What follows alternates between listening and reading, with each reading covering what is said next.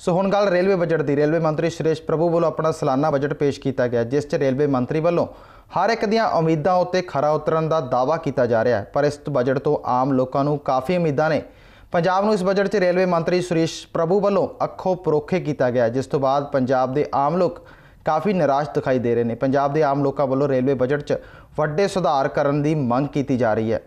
ਕਹਿਣਾ ਚਾਹੁੰਦਾ ਕਿ ਕਿਰਾਇਆ ਨਹੀਂ ਵਧਾਇਆ ਗਿਆ, ਇਹਦੇ ਵਿੱਚ ਆਮ ਜਨਤਾ ਨੂੰ ਬਹੁਤ ਫਾਇਦਾ ਕਿਉਂਕਿ ਤੇ ਇਹਦੇ ਵਿੱਚ ਸਭ ਤੋਂ ਜ਼ਿਆਦਾ ਫਾਇਦਾ ਗਰੀਬਾਂ ਨੂੰ ਆ ਕਿਉਂਕਿ ਅ, ਪੰਜਾਬ ਭਾਰਤ ਵਿੱਚ ਇਹਨੂੰ ਕਹਿੰਦੇ ਆ ਕਾਫੀ ਲੋਕ ਬੇਰੁਜ਼ਗਾਰ ਵੀ ਨੇ ਤੇ ਸਹੂਲਤਾਂ ਵੀ ਇੰਨੀਆਂ ਨਹੀਂ ਉਹਨਾਂ ਨੂੰ ਪ੍ਰਵਾਨ ਤੇ ਘਰ ਦੇ ਖਰਚੇ ਵੀ ਉਹਨਾਂ ਦੇ ਕਾਫੀ ਮੁਸ਼ਕਲ ਚੱਲਦੇ ਨੇ ਜਿਹਦੇ ਕਰਕੇ ਉਹਨਾਂ ਨੂੰ ਕਾਫੀ ਗਰੀਬਾਂ ਨੂੰ ਵੀ ਸਹੂਲਤਾਂ ਮਿਲਣਗੀਆਂ पंजाब के लिए नहीं दी गई इसको पंजाब के लिए भी ट्रेन कोई ना कोई दी जाए उनको रेल मंत्री सुरेश प्रभु को चाहिए कि हमारे पंजाब को कुछ ना कुछ सुविधा जरूर दिया जाए ਜਿਹੜਾ ਬਜਟ ਆਇਆ ਇਹਦੇ ਪੰਜਾਬ ਨੂੰ ਬਿਲਕੁਲ ਇਗਨੋਰ ਕੀਤਾ ਗਿਆ ਉਹਦੇ 'ਚ ਖਾਸ ਕਰਕੇ ਅੰਮ੍ਰਿਤਸਰ ਤੋਂ ਜਿਹੜਾ ਜੰਮੂ ਤੱਕ ਦਾ ਰਸਤਾ ਵਾ, ਜਿਹੜਾ ਰੇਲ ਮਾਰਗ ਹੈ ਇਹਨੂੰ ਤੇ ਬਿਲਕੁਲ ਹੀ ਟੱਚ ਨਹੀਂ ਕੀਤਾ ਗਿਆ।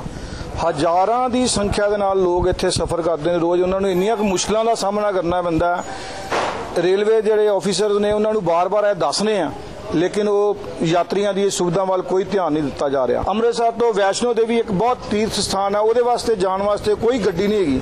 ਇੱਕ ਗੱਡੀ ਅਹਿਮਦਾਬਾਦ ਤੋਂ ਇੱਥੇ ਚਲਾਈ ਜਾਂਦੀ ਹੈ ਵੀਕਲੀ ਉਹਦਾ ਵੀ ਬਟਾਲੇ ਸਟਾਪੇਜ ਨਹੀਂ ਦਿੱਤਾ ਗਿਆ। ਹਜ਼ਾਰਾਂ ਵਾਰੀ ਸਾਰੇ ਆਫੀਸਰਸ ਨੂੰ ਕਿਹਾ ਗਿਆ ਲੇਕਿਨ ਉਹਦੇ ਬਾਰੇ ਉਹਨਾਂ ਨੇ ਕੋਈ ਸੁਣਵਾਈ ਨਹੀਂ ਹੋ ਰਹੀ। ਥੋੜਾ ਜਿਹਾ ਟਾਈਮ ਟੇਬਲ ਦਾ ਵੀ ਜਿਸ ਤਰ੍ਹਾਂ ਸਵੇਰੇ ਬੱਚਿਆਂ ਦਾ ਸਕੂਲ ਕਾਲਜ ਦੇ ਟਾਈਮ ਹੁੰਦੇ ਆ ਕਦੀ ਵੀ ਟ੍ਰੇਨਾਂ ਟਾਈਮ ਤੇ ਨਹੀਂ ਹੁੰਦੀਆਂ ਖਾਸ ਕਰ ਇਹ ਬੈਲਟ ਦੀਆਂ। ਬਜਟ ਤੇ ਚਲੋ ਜੋ ਵੀ ਹੈ ਪਰ ਟਾਈਮ ਟੇਬਲ ਦੀ ਜ਼ਿਆਦਾ ਸੁਵਿਧਾ ਪ੍ਰੋਬਲਮ ਇਹ ਤੇ ਬਹੁਤ ਵਧੀਆ ਕੀਤਾ ਸਰਕਾਰ ਨੇ ਜਿਹੜਾ ਲਾਗੂ ਕੀਤਾ ਵੈ ਬਜਟ ਔਰ ਇਸ ਵਿੱਚ ਲੇਡੀਜ਼ ਨੂੰ ਕਿਸੇ ਵੀ ਚੀਜ਼ ਦੀ ਕੋਈ ਵੀ ਮੁਸ਼ਕਲ ਨਹੀਂ ਹੋਣੀ ਚਾਹੀਦੀ।